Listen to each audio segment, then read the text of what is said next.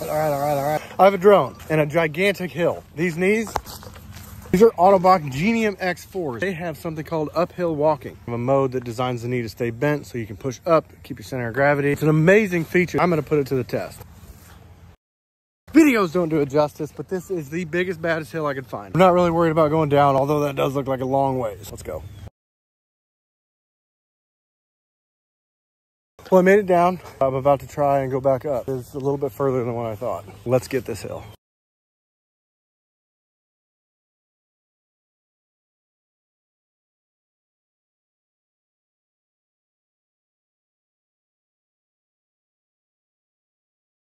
Halfway up started burning friggin' hard, but it was possible. What happens when you do stuff that's hard over and over and over? It gets easier. When a prosthetic technology can just make a normal life more possible, you combine that with committing to using prosthetics, it all gets easier.